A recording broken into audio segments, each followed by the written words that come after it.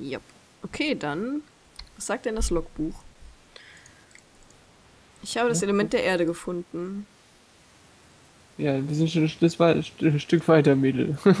Feuer, Luft? Nö. Irgendwie steht hier noch nichts von Wasser. Vielleicht musst du erst rausgehen, das hat sie noch nicht gescheckt. Okay. Die Elemente Ankarias. Elemente. Elemente. so. Und jetzt musst du, meine ich, da im Süden zu dieser komischen einen Burg, die so sternförmig aussieht. Oh. Wieder zurück zu Chantalle, Oh, jetzt sind hier wieder alle. Shakira, wie auch immer. Shakira. Waka waka, eh, eh. Tja, wurden wir wohl gestern Weltmeister, hä? Hm, Krasser Scheiß. Krass. Ach, wie ich immer wieder reinlaufe, so.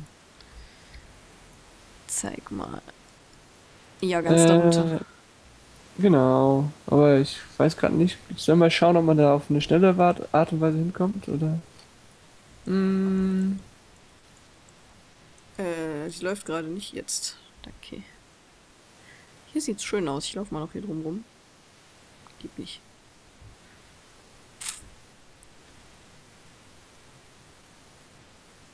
Okay, also du musst einfach nach Süden laufen. Ach, wie nervig. Dann nehmen wir mal den Undertaker mit, glaube ich. Und da ist auch irgendwo in der Nähe ein Portal dann. In der Hauptstadt, äh, also nicht Hauptstadt, also in der Stadt da. Okay. So, Pferd, komm. Nicht im Kreis rennen. Komm. Hallo. es ist verwirrt. Es schlägt sich selbst. ja, es springt und klatscht.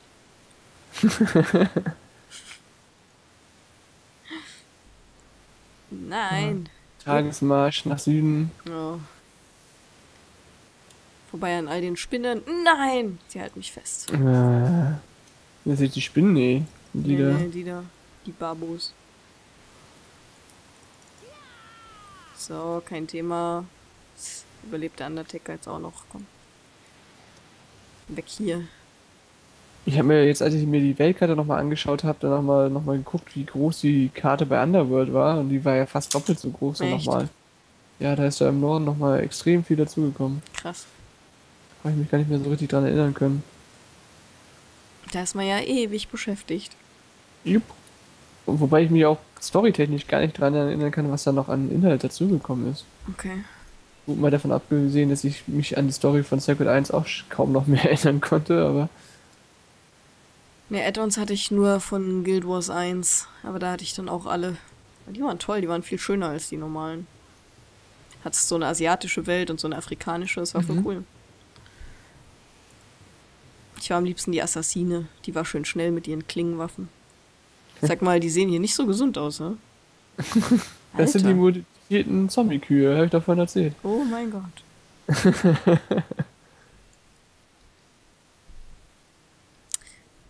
äh, ich, äh, ich hasse Spinnen einfach. Jetzt steigt die ab wegen Gold. Ich glaube, es geht los.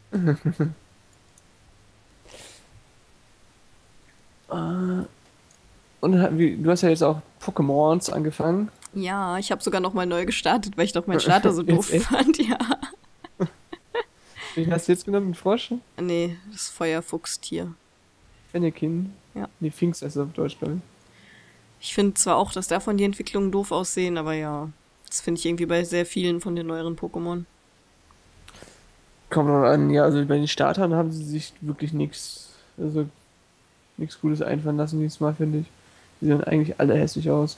Wobei, fünfte Generation, ich überlege gerade, äh, da war das Schwein eigentlich auch relativ cool noch. Aber da war der, der Otter irgendwie seltsam, fand ich. Den kennst du wahrscheinlich gar nicht, ne? Ich überlege gerade, ich glaube, ich habe es schon mal irgendwo gesehen. Das ist erst so ein kleiner Otter, Nein. dann ein etwas größerer Otter und am Ende ist es so ein, ja, ich weiß nicht, was es sein soll. Das ist eigentlich ein, äh, ja, ein Seehund oder sowas in der Richtung. Okay. Klingt aber prinzipiell niedlich. Ja, aber die dritte Stufe sieht irgendwie, passt überhaupt nicht zu den, oh. Da ist Rosalinde wieder. Rosalinde. Ganz viele Rosalindes. Ich freue mich ja so sehr auf Alpha Saphir. Wegen, Mhm. wegen meinem Starter, das ich dann haben werde. Sprutze. Spritze! Das wird fantastisch. Oh, ich wusste, ich hätte dem Weg folgen sollen. Es ist hier Wasser, das ist schlecht. Beziehungsweise ja, Wasser in Anführungszeichen. Brühe. Ja. Spritze. Spritze ist hier. 1A Spritze. Wahrscheinlich hätte ich auf der anderen Seite entlang gehen sollen. So ist das immer. Ja, wird schon irgendwann an den Brücke kommen. Ja, da bin ich auch drauf gespannt, was da jetzt so an neuen Inhalten kommt. Oh, da ist die Brücke. Sehr gut. Bei Alpha, Saphir und Omega Rubin. Ja. Ich habe ja die Fall. Originale nicht gespielt, von daher. Oh Gott, jetzt muss ich absteigen. Ja, doch, das Original habe ich, hab ich gespielt. Das war sogar meine, eigentlich meine Lieblingsedition oder Generation, besser gesagt. Dritte. Habe ich noch mehr gespielt als die erste und zweite. Die vierte war dann wieder so, meh. Hm. Das war so die Phase, wo man Pokémon eigentlich nur gekauft hat, oder ich nur gekauft hat, weil man vorher auch gespielt hat, aber so wirklich toll fand ich es in dem Moment nicht. Ich habe das, ich war am Wochenende bei meinen Eltern und habe das da gespielt und da meint mein Papa nur, was spielst du denn da? Meine ich Pokémon. Bist du nicht ein bisschen zu alt dafür? Nein, Ist nie zu alt. Pokémon. niemals. Ja, ich hatte bei dem einen Insanity Sale, bei dem ich mitgemacht habe, habe ich ein Bisasam-T-Shirt bekommen. Mm. Das war schön. Ja, momentan haben die irgendwie alle nicht so coole T-Shirts im Angebot. Hier so QWERTY und was auch immer. Ja ich gucke immer jeden Tag noch bei Yeti und T-Fury. Ja, da gucke ich auch. Aber da war bislang jetzt nichts so, wo ich sagen würde, das ist jetzt mein Fandom. Eine Freundin von mir hat ganz viele Threadless-Shirts. Ja, die sind so teuer. Ja, aber die sind so toll. Die hat auch das mit den Kühen, mit den grünen Kühen, mit dem Mond. Was? Nee, das, das T-Shirt ist grün, nicht die Kühe. Das T-Shirt ist grün und da sind Kühe mit so einer Mondlandschaft. Ist voll schön.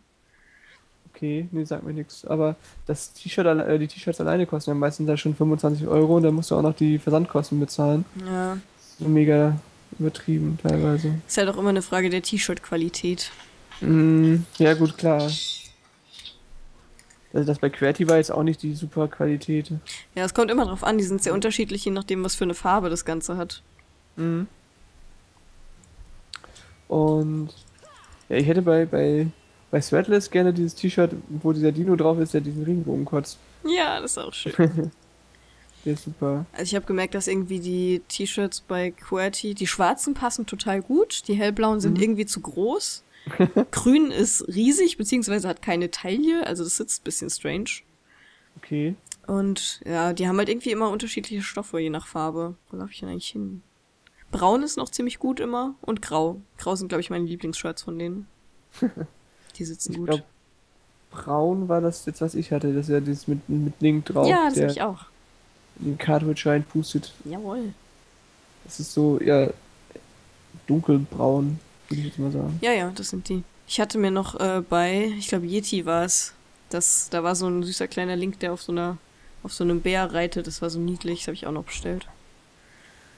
Mhm. Und die Cornetto Trilogy habe ich letztens noch bestellt. Ah, so viel. Ja, das ist ein Shiny, ich weiß, ich gehe nicht hin. Ha! Der Police. Hier muss irgendwo auch noch ein Portal sein in der Nähe von der Stadt. Okay. Ich sehe schon die Mauern, aber ich weiß noch nicht, wie ich hinkomme. Guck mal auf der Karte, vielleicht siehst du da irgendwie so grob den Weg. Ja. Uah, scheiße, jetzt falle ich hier gerade über mein Headset-Kabel. Nein! Jetzt muss ich nochmal rüberrollen. Mach's nicht kaputt, so wie Laudings. Ja, nee, hat jetzt geklappt. Gut. Links Das oben steht ein weißer Fleck.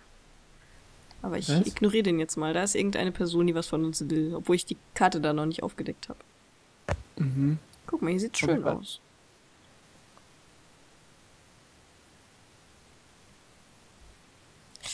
So, dann gehen wir mal zu unserem Questbuch. Wenn ich mich nicht täusche, muss sich hier das Missionsziel befinden. Ja, ist wirklich fancy hier. Ja, ist schick. Und das dafür, dass es so in der Sumpfgegend ist. Sternental oder irgendwie so heißt es, ne? Burg Sternental. Ähm, Burg kann ich nicht lesen, weil das Ding drüber ist, ja. Sternental, ja. das- Das Portal hast du angeklickt? Nee, wo ist es? Da oben auf der Karte wird es angezeigt. Echt? Tatsächlich, ich bin dran vorbeigerannt. Mach ich mal noch schnell. Haben wir noch ein bisschen Zeit. Äh, wo waren wir jetzt gerade eigentlich stehen geblieben? Irgendwas wollte ich erzählen.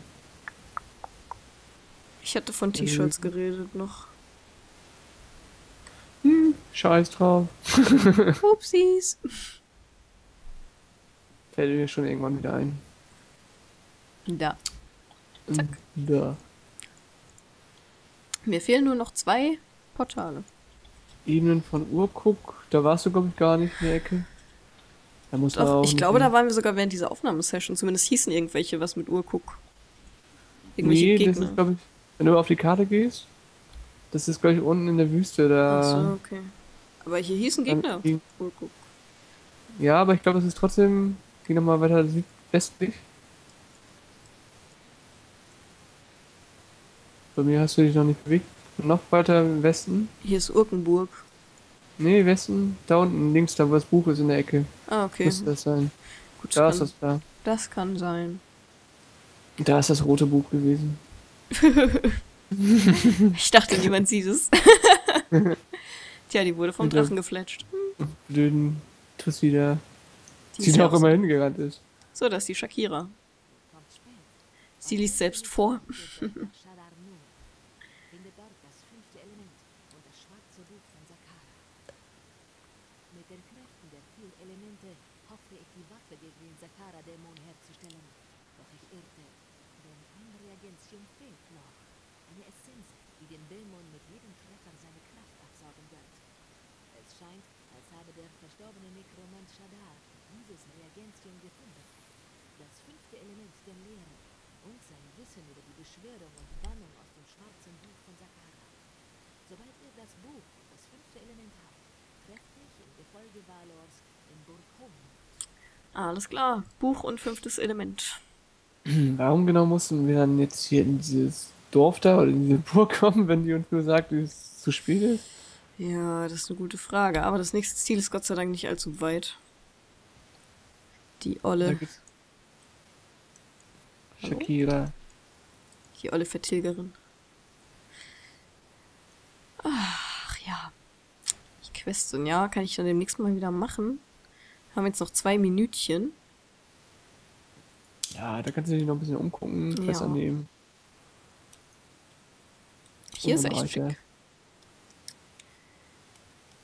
Ja. Dann ist jetzt auch nicht mehr viel. Fast geschafft. Das ist auch gut so. Ich werde auch ein bisschen Tempo geben, sag ich gleich schon mal für die Zuschauer.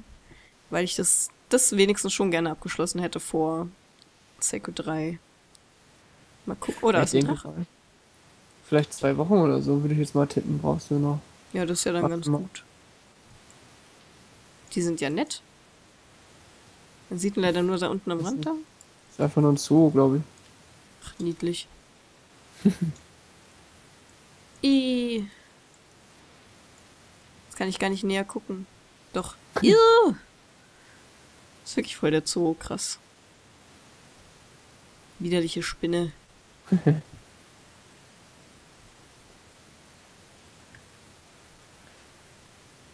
Und irgendwann brechen sie alle aus und dann ist das Geschrei riesengroß.